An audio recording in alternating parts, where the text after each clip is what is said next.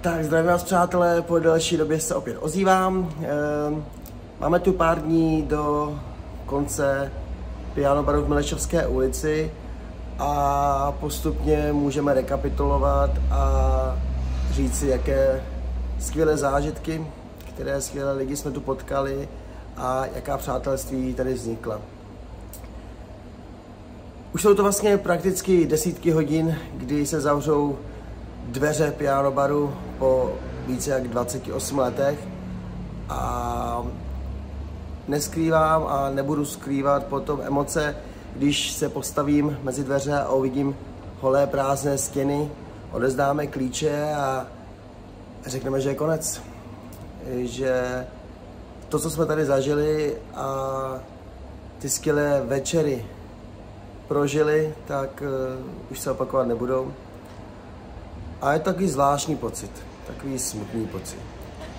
Proč ale dneska tady uh, k vám chci promluvit, je, že od té doby, co jsme zjistili, že končíme a hledali jsme nové prostory, které jsme našli blízko tady od nás, vypsali jsme e, sbírku na Dolnio na trochu pomoc a k dnešnímu dni je tam více než 220 tisíc korun a je to obrovská částka, za kterou jsme nesmírně vděční všem, všem, kteří přispěli jakoukoliv částkou, či si vybrali jakoukoliv odměnu.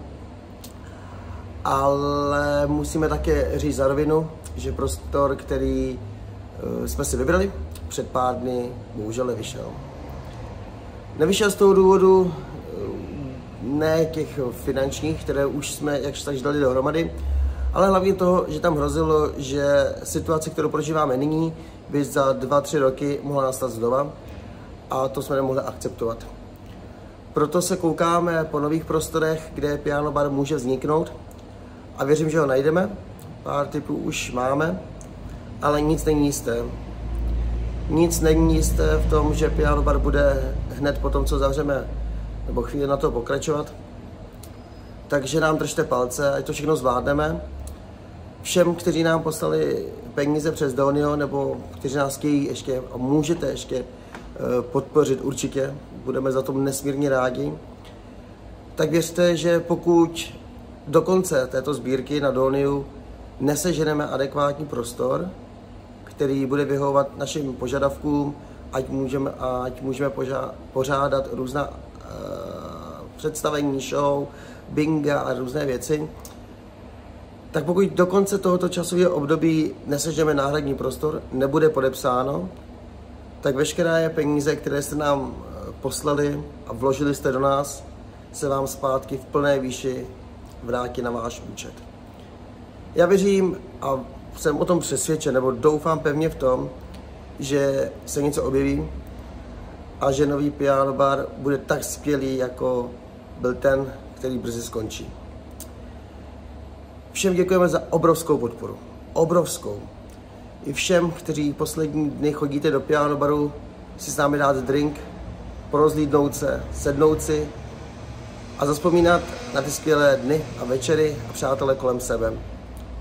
Chodí dokonce lidé, kteří byli i při otevření podniku v roce 95. Cítíme velký závazek vůči všem, protože jsme pokračovateli podniku, který má velkou historii a nesmí skončit už před těmi osmi lety, když jsme to s Míšou přebírali, jsme cítili ten závazek a chtěli jsme, aby to pokračovalo dál. O to větší sílu a energii chceme dát do toho, aby pokračovalo i teď. V této době, kdy bary vlastně nikdy nechtějí. Nikdy nechtějí večerní provozy, nikdy nechtějí prostě hluk na ulici. A já to chápu. Na druhou stranu nechci Prahu, kde se unudíme a kde se nebudeme moc pobavit po večerech. Držte nám palce a věřte, že děláme maximum pro to, aby piano žilo dál, dál a dál mnoho let.